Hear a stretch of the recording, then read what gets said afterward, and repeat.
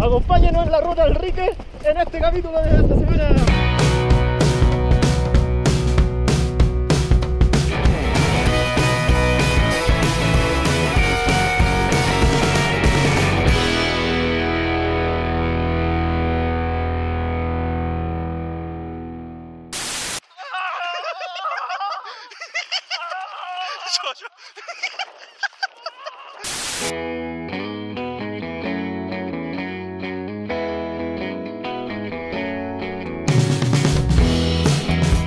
La ciudad de La Tacunga por una invitación de mi amiga María José.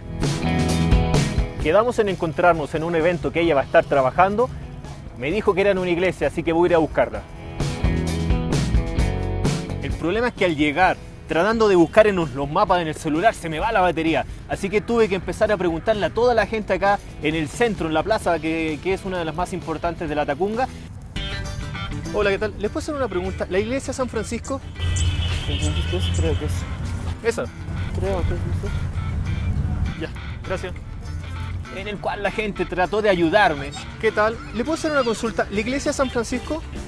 Ay, sí, verdad, no conocemos, ¿No? no somos tampoco de aquí. Ya, no, no hay problema, gracias. Gente, pero me mandaba para allá, me mandaba para acá. Ah, corre, que ya, ya.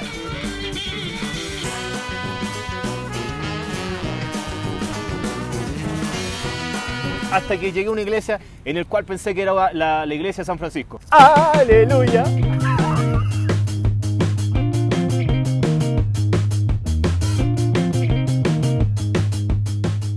Llego a esta iglesia que es muy antigua, muy bonita, y aprovechando que no hay nada de gente, empiezo a recorrer todo su rincón y ver el arte que tiene. Así que nada más que después de, de estar en esta iglesia asombrosa, grande y preciosa, me siento a esperar el evento.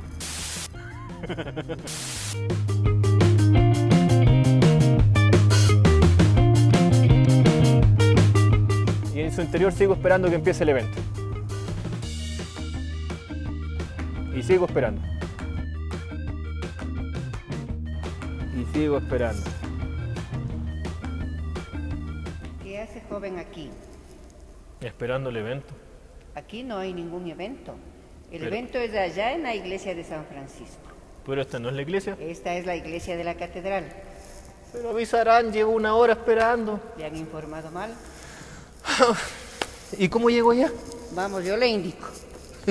Gracias.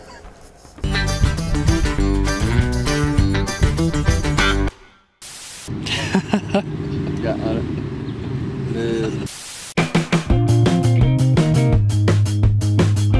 Chuta, llegué tarde, la majo no me pudo atender. Estaba la gente ya en la iglesia en esta reunión especial que tenían, así que obligó a esperarla para ver si podemos conversar con ella.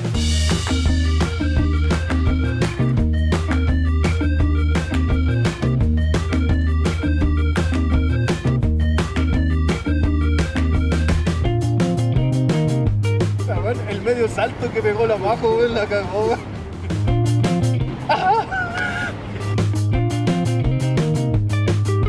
se estaban quedando dormidos despertaron al lado del otro lado. El aloncito estaba así. Y mira, me hace. Acabo de ya hablar con la Majo y nos pusimos de acuerdo para juntarnos en su cafetería. Así que voy a aprovechar de irme a cambiar para sacarme un poco de este frío de las tardes heladas de la Tacunga y después ya en la noche poder planificar todo lo que es la ruta para el Cotopaxi el día de mañana. La Tacunga es una ciudad que se encuentra en el centro del Ecuador, a 2.750 metros sobre el nivel del mar. Tiene un centro histórico hermoso y con mucho arte e historia. Por esto fue declarada Patrimonio Cultural del Ecuador desde 1982.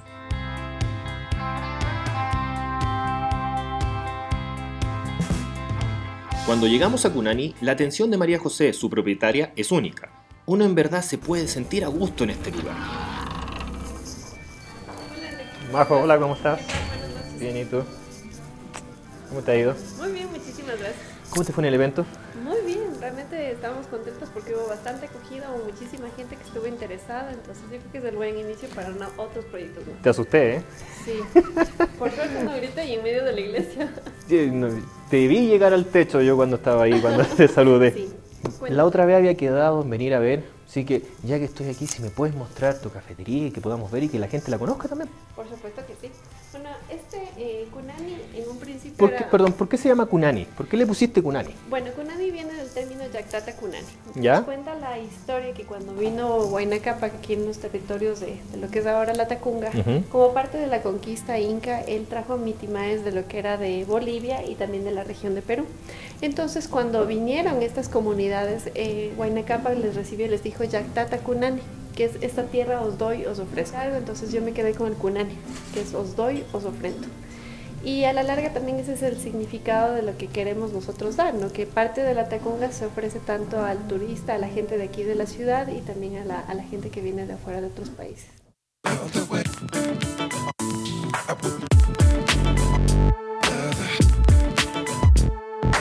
Uno en verdad se puede sentir a gusto en este lugar, y es que el orgullo y el amor que María José tiene a su ciudad y a su provincia se refleja en cada uno de los objetos que aquí encontramos, además de los que preparan y sirven aquí. Te voy a explicar un poco más de lo que es. Y yo con mucha nostalgia recuerdo cuando mi abuelita, cuando era muy chiquita, nos daba siempre el chocolate, justamente un chocolate de tableta, que era un chocolate más o menos amargo combinado con leche. En ese entonces, bueno, la abuelita le ponía el azúcar a su gusto. Este, en este chocolate está sin azúcar, es decir, tú puedes eh, endulzarlo como tú quieras. Y posteriormente lo que nosotros era añadíamos la machi.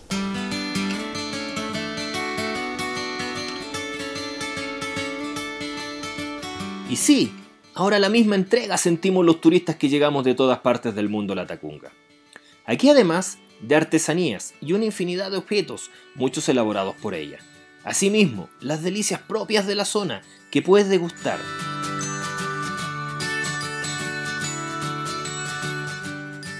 No puedo despedirme de Mario José ni de la Tacunga sin antes dejar algo tan preciado para mí. Más estando tan lejos de mi patria, mi hermosa y gloriosa bandera chilena, que estará presente entre otros países más.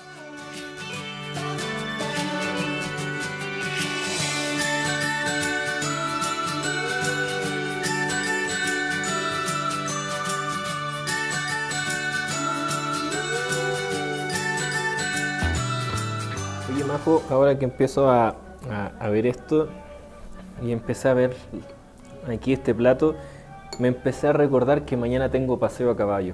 Así es. ¿Qué es lo que me va a esperar? Porque dije, tierra caída y nunca me va bien en ningún paseo o programa que hago. Entonces tengo que ir preparado a... Por supuesto que sí. Bueno, siempre nos hablan de que aquí la Tacunga es una ciudad sumamente fría, así que Ya. yo creo que la primera recomendación es que tienes que estar sumamente abrigado porque es posible que llueva o es posible que también haga muchísimo sol, también creo que es prudente llevar bloqueador solar. O sea, el clima cambia. Así es, es muy variable. Ya. Y también creo que es importante de que, sobre todo el- los ánimos, porque si bien estás montado alguna vez a caballo, Sí, pero es distinto cuando tú haces un paseo a caballo que cuando vas a recorrer un lugar que uno no, no conoce.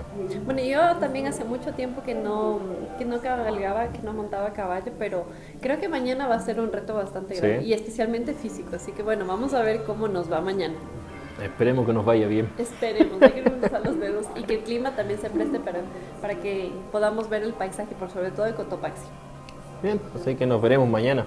Así es.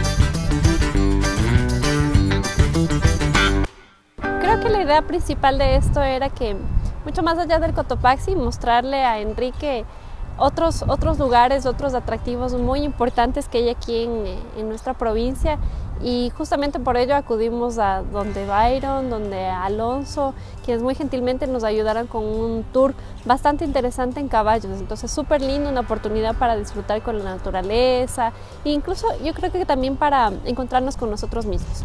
Muy buenos días, ¿cómo han pasado? Buenos bien. días. Señorita, un gusto. ¿Cómo está, Enrique? Un gusto. Señor Enrique señorita y señores que están.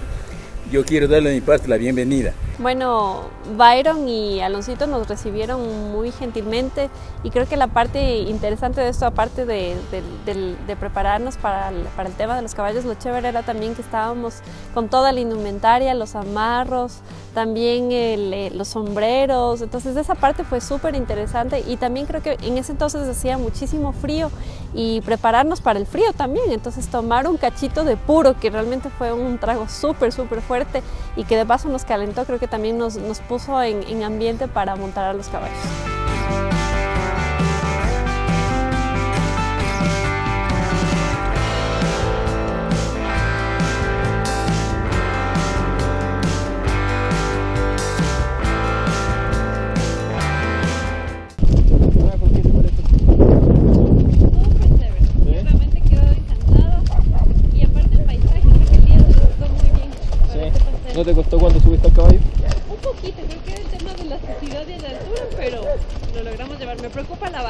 ¿Sí?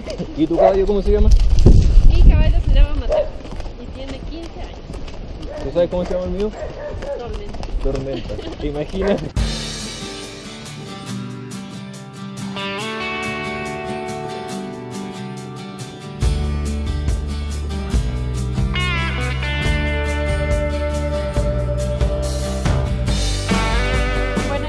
aquí en la entrada de la, de la vaquería lamentablemente tengo que despedirme, aunque me hubiera encantado continuar. Voy a dejarle a Enrique en buenas manos, de, va a estar con, con Byron y van a continuar conociendo estos parajes tan bonitos que, que- que hay aquí en Cotopaxi.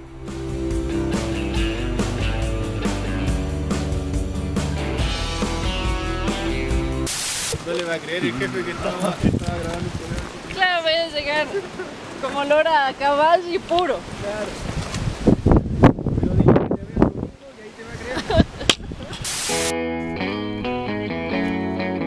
Luego de un paseo. Y del viaje como el del día de hoy, no hay nada más refrescante que tomar. Agua San Felipe.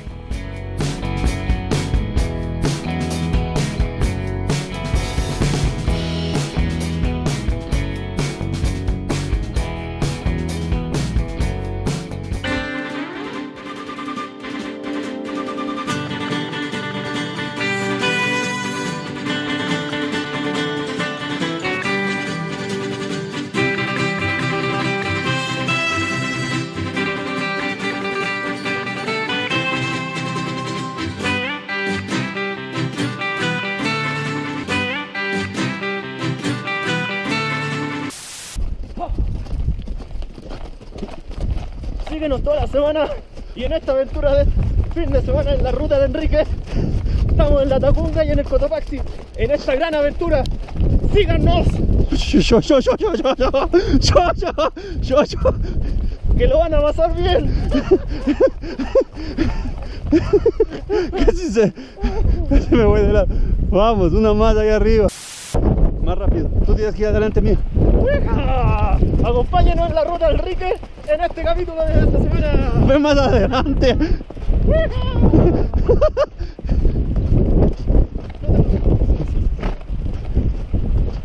Ven más adelante. ¡Vamos, muy rápido! Dale. Yo, yo. nuestro recorrido del día de hoy tuvimos el privilegio de encontrarnos con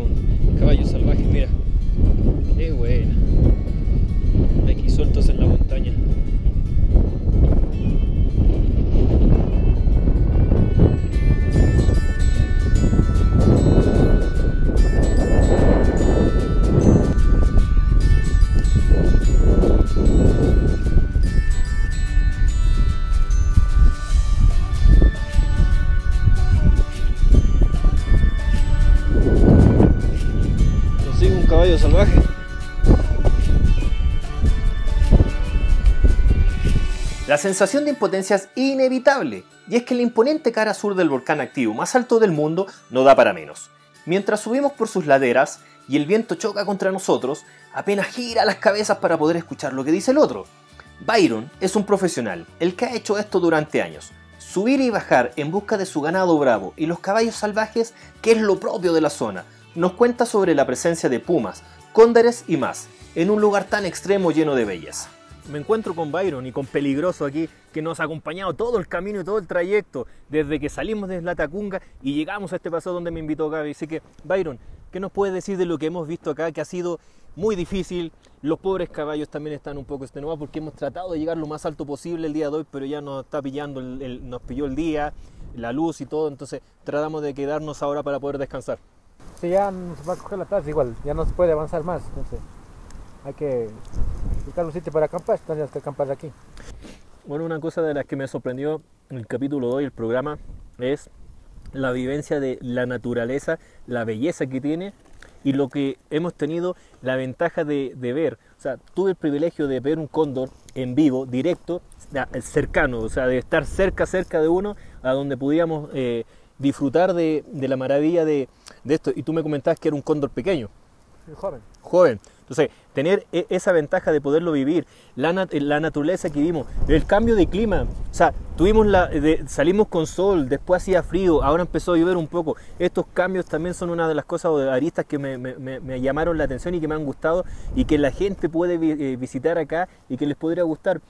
Este creo que ha sido uno de los capítulos más tranquilos, más relajados, pero eh, que eh, más he podido como disfrutar con la naturaleza, el estar al aire libre, solos, porque no hay ningún nada que, que- te moleste los aires, ni, ni ruidos, ni nada, o sea, una desconexión total y disfrutar solo de la naturaleza.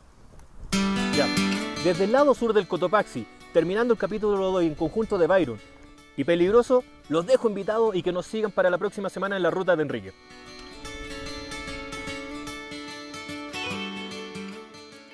Esta ocasión cierro este capítulo abrumado por la majestuosidad del Cotopaxi y me entrego a la simplicidad de la reflexión, recargando baterías para seguir descubriendo los paisajes espectaculares que Ecuador me tiene preparado. Una vez más, soy Enrique Márquez y nos veremos en otra aventura de La Ruta de Enrique.